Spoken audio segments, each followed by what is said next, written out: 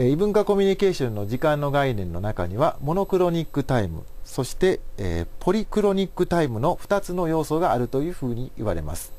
俗に M タイムと呼ばれますがこれはスケジュールがスケジュール通りきっちり A、B、C、D の順番に行われるような時間の間隔です。これに対して P タイムの方ですが同じ時間帯にさまざまなことが同時にえー、並行して動くというような考え方です。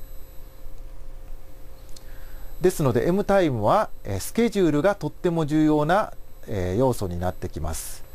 スケジュールを守ることによって人々の間に信頼関係が成立する。約束を守ることの大切さやビジネスパートナーとしての信頼が生まれます。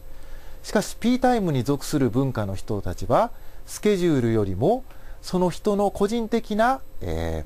ー、状況の方が優先させられます。例えば時間通りに来ないのは何かその人にもっと大切なことが起こったのではないか。またその人に不慮の事故などが起こったのではないか。そういうような考えによって、えスケジュールよりも人を大切にするということになります。これまで私たちは M タイムと P タイムについて見てきましたが M タイムに入る国の人たちそれは我々日本人や、まあ、韓国人またドイツの人たちが代表的です。